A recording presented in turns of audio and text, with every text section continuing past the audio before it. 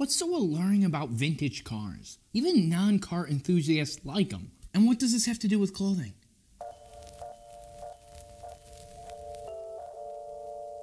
So, the first career I ever wanted was when I was 10 years old. I wanted to be a car designer. I invented my own company called Ronin. What the hell? Wait, it's not called Ronin. It's Rogan. Wow. Some designs were really good, but most of them were just way too over the top and or cheap, complete knockoffs of other supercars like Koenigsegg. But hey, I was a kid. But as I've gotten older, my appreciation for vintage cars has become stronger and stronger and stronger to the point now where my dream car is any sports car from the 50s or 60s. We're gonna get specific, Shelby Cobra. Oh my gosh. Or a Jaguar E-Type. Oh. So I've been pondering as I normally do. That's cold. Oof. Yeah, bad. Okay. And it got me thinking, do I love classic cars because I love classic style? Or do I love them for a different yet connected overarching reason? Because I know I'm not the only one who loves these two things together. They usually seem to go hand in hand. Well, now I believe that they're connected because they share in the same philosophy, and I got three points to prove my case. First case is their timeless design. Now, when I say timeless, I don't mean literally timeless. I've already talked about that before. Every item that we're wearing now will go away or change a lot in the next century or two. I mean, we ain't wearing togas anymore. I mean, some people do. I'll be honest, in a way, I wish we still did. When I go to the beach, I always wrap my towel a certain way. But there are still classic pieces that we still wear and have worn unchanged since before the birth of the baby boomers. You know we're talking old. And they still look just as good now as they ever did. Maybe even better. That's rare. And it's the goal of every good fashion design. Or maybe the goal of someone who's very passionate about their style. But the same can be said about vintage cars. People love them. Someone who doesn't give a rat's boot about modern cars will still turn their head when they see a car like a Shelby Cobra and they'll go, Hey, did you see that car? Wow, that's nice. I like that. That's a nice car. That's pretty. I like the color.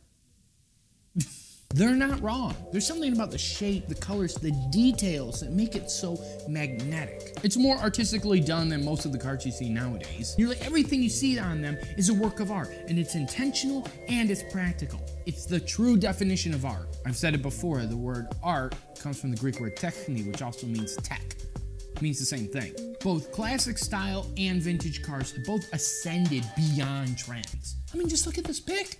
When was it taken? I'll give you a few seconds to figure it out. Okay, time's up. It's new. But you can't tell. Everything is beautifully classic, even the architecture. But it looks super bad A, and just as much now as it did back then. Now, the second thing that they both share is, of course, superior craftsmanship. You know, when you get a vintage vehicle, you're not only paying for a beautiful design that speaks to you, you're paying for that fantastic raw quality. Like the boomers say. Back in my day, you didn't have all this fancy electronic crap. It was just raw manual goodness, man. As tiresome as that is hearing boomers say that on repeat, they're right. They're not wrong. You can't drive these things aimlessly without thinking about it like any other car. It forces you to think about it. Sorry, pal. You'll get onto it. And that's what's great about it. You're there for the drive. Yes, it does get you from point A to point B, but it lets you enjoy that journey without having to listen to podcasts or music.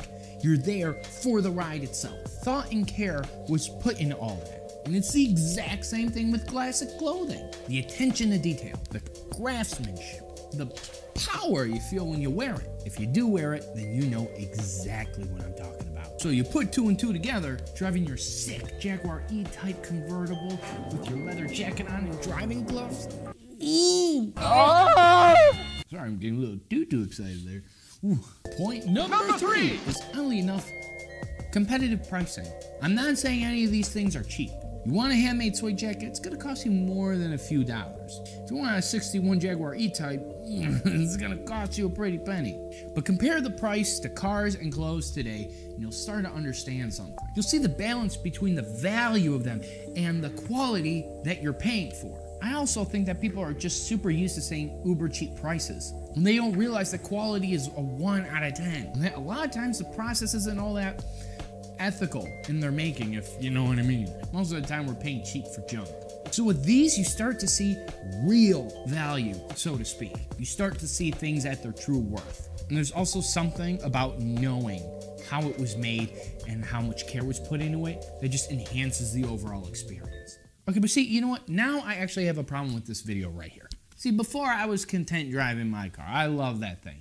But now, this made me want to look up videos of Shelby Cobras on YouTube. It's kind of like a crush of a girl you had in high school, and you see her after college, and you're like, oh, you're reminded why you did in the first place. Now with these Shelby Cobras, I want one.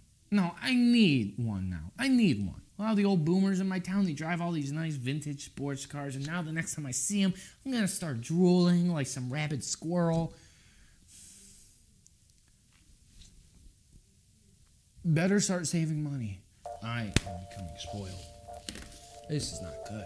This is not good. At least, as long as you work for it, as long as you work for it.